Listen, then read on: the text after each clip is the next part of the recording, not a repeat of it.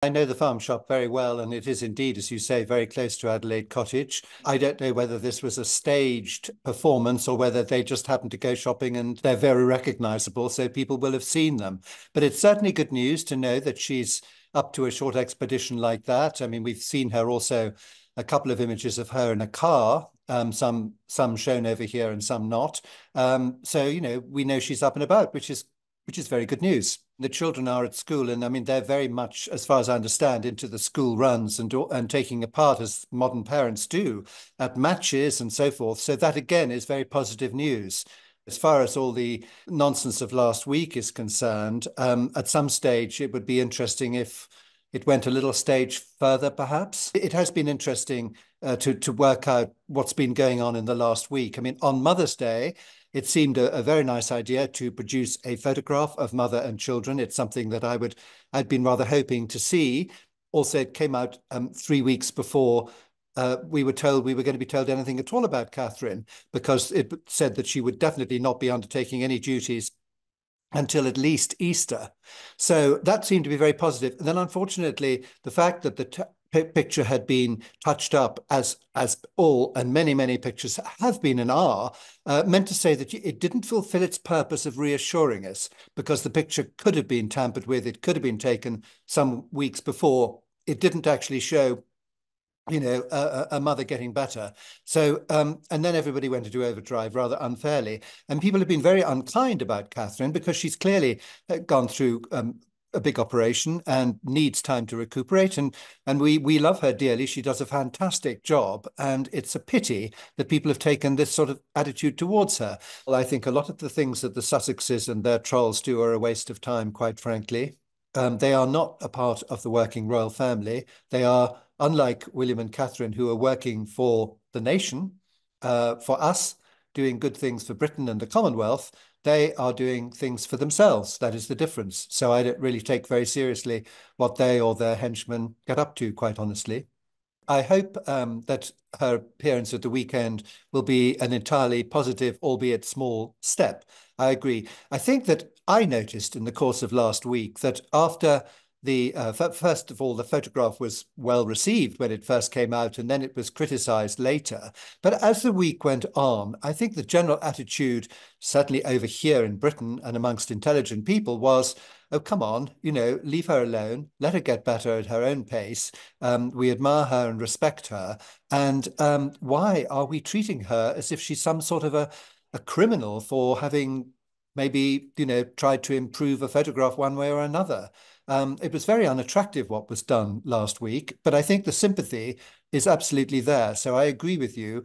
I think that her recent appearances will certainly be a great advantage, and let's hope so.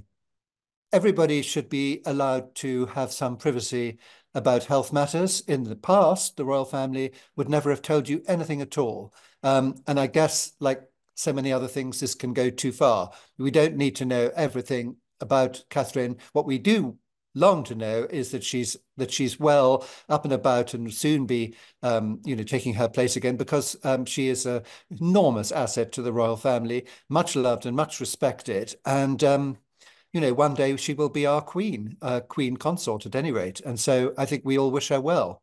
But supposing uh, there could be, let's say, some moving footage of her walking around the garden with the children, I would have thought something like that could be very, very reassuring and probably wouldn't be too difficult for her to do or to arrange.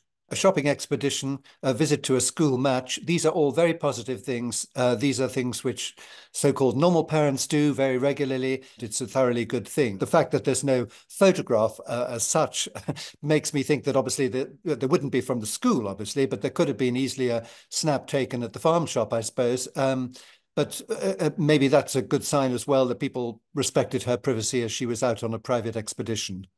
There's been a lot of pressure on Kensington Palace, and the longer they leave it, I guess, um, the more pressure there will be. So uh, I, I don't know, but let's let's wait and see. There could well be there could well be some kind of an announcement. It was suggested in the Sunday Times yesterday that there will come a point where Catherine, when she's fully better, you know, will in some some way discuss maybe her illness, uh, whatever that may be, um, in an appropriate way. that's all very much up in the air, obviously. Should that happen, how much of a benefit will will that be for those in a, a similar situation to Kate? Well, that's certainly been the, um, the, the the king's approach to things. I mean, he told us that he was going in for prostate examination anyway, that some kind of cancer had been had been uh, identified and was being treated. And as you will know, we see him. Uh, I think even yesterday I saw a photograph of him taken rather distantly at Sandringham going to church. So we know he's up and about, and we've seen occasional Zooms of him doing things. And he also made a broadcast uh, which was shown in Westminster Abbey last Monday at the Commonwealth observance. Um, so, you know, we know he's up and about. And if you look at the court circular, you will see him doing various things. All this is very reassuring in the same sort of way as it was when the uh, Queen was in lockdown at Windsor Castle and she took to Zoom in a big way. And so we could see that she was still fulfilling her duties as head of state. So, um, it, you know, he certainly has taken that that line. The media uh, are very interested in the royal family, which of course is a good thing. And of course, if they aren't given um, news at any particular point, then they very often press for it. If I could sort of put this in a general context, I noticed that, you know, and I've been following the royal family now for many decades, that the times when there was a royal marriage or there was a, a, a, state procession, you know, for a jubilee or something like that, then the media all get terribly excited. They want to cover it. But you can't be doing those things the whole time. And so when things go a bit quiet, it's a time when the media sort of sniff about and look for something to write about. And if somebody has not been seen in public for several months, you can understand that that's the sort of thing that they focus on, which is not very attractive, but it's, I guess, inevitable. I always used to think that all she really needed to do, and this, of course, was when she was Duchess of Cambridge, was to dress beautifully and be a good mother. And we saw plenty of examples of that. Then, interestingly, during the lockdown period, when obviously the Queen was out of the way, at one point Prince Charles had COVID, um, we actually saw quite a lot of her talking, you know, to national health representatives and so forth on Zooms, and I listened to her a lot. And I think she she has combined that with all the other good aspects of being a member of the royal family. Um, the most successful members of the royal family are those who support the monarch and um, don't compete with them. And she has certainly done that absolutely 100%. Um, she's a huge asset. Um, uh, she's she she represents probably the most glamorous element in the royal family as it is today and um, she's young she's got a gorgeous family they look absolutely cute whenever they come out um, i think i think um, you know if you if you'd gone onto a computer and tried to design her you couldn't have come up with somebody better frankly